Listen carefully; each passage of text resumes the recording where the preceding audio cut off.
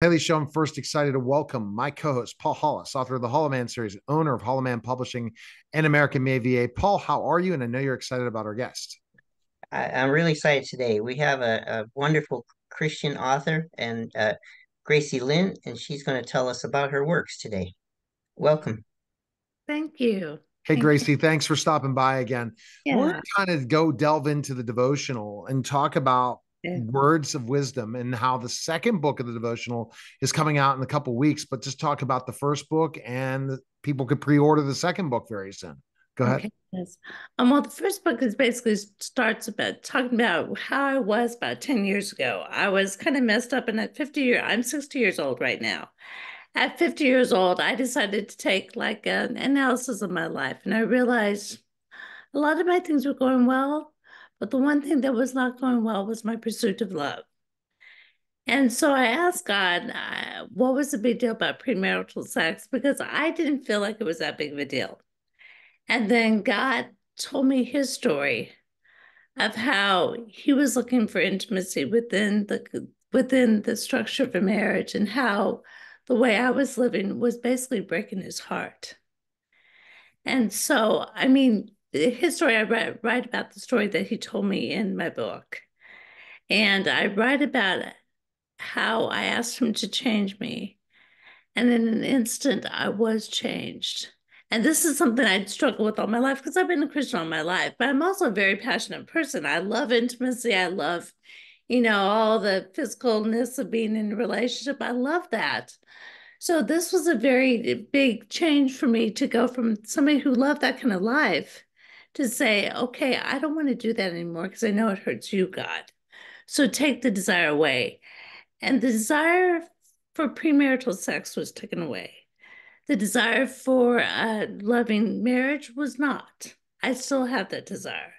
The desire for good relationships with men that are just friends, I still have that desire. I still like looking at handsome men. Who doesn't? You know, at least for me, I do. So I like all that but I don't I don't have the desire to do it in the wrong way anymore. And that is where the book starts. And then it goes into different things of that I experienced when I was dating. Um, different things that you happen that you happen across online, which many times there's on online scams. So I write about one of the guys that I kind of fell for that was an online scam. Um, and I put a link in there to some different standards as to how to how to determine how to respond to these kind of people. So you know, um, it's it's book of boundaries and it's book of wisdom as to how to handle the dating world, especially if you're a Christian. And then, and that's very important. The dating world is not an easy world to deal with, and to make those changes, and then to figure out if you're Christian and you want to have a serious relationship, which leads to marriage before sex, even and through your second marriage or wherever it is, that's yeah. a challenge in this world today of the very quick hookup type dating scene. So this book kind of brings out conversations that are that you've been sharing with your friends in this book and it's been helpful for them because they're going through the same stuff. Yeah, yeah. One of my friends, she read the book and she said, Boy, she wished she had had this when she first got divorced because it gives you kind of like, and the way I write, I try not to preach. I just tell stories. So it gives you guidance, but it gives you guidance in a very subtle and loving way. It doesn't give you like the content. I try to I try to step back from condemnation because I don't want somebody thinking I'm preaching to them. I'm just telling them stories. And and that's the the the process people are dealing with. And uh, did you in your book talk that online dating is the best way to do this or not? Well, dating apps. Me, so I know some people that have met their their one and only through online dating. For me, I believe because of my um, Christian walk, I believe for me, I will most likely meet my man um, that I will marry in church because that is where my heart is. That is where my goals align with, and that's just for me what makes sense for me, online dating doesn't make sense anymore. So I don't do it anymore because last time I did it, um, my friend of mine taught me to get on Match.com. And last time I did it, I was like, I'd be writing in book and I'd be like writing in my book and like, oh gosh, I suppose I should check my messages because I might have a few messages. And I did. so it was not something I look forward to. Whereas before, before I had that time with God, I mean, I would come home from work and that's the first thing I'd go to is my computer to see what kind of messages did I have. Did anybody want to take me out for dinner? Did anybody want to take me to a movie? Do you want to take me here? Do you want to take me there? It was all about, you know, the experience without the love. Right and and and I want I want love with this. No, and, the, and that's that's the the challenge, right? Yeah, is going yeah. through that process to find the right person. Who do you looking for yeah. that can understand you when they're not showing their true persona from the beginning? And so reading that book so that Christians out there uh, understand that you know got to find another Christian, and it's not easy in this dating world to do that. And that's the whole thing about being unequally yoked. I mean, I will say this I was in Italy um, last November, met a guy there from Australia, and we hit it off. We didn't get physical because I didn't allow him to, but we actually truly both told each other that we loved each other by the end of the week. But he was Hindu. I was Christian. We were both very devout in our in our religion. So I thought, you know, when I came back, I really missed him and mourned over him, maybe like a week, two weeks to a month. And I thought, you know, the reality of this on a day to day basis would most likely, likely not be something that would work. Right.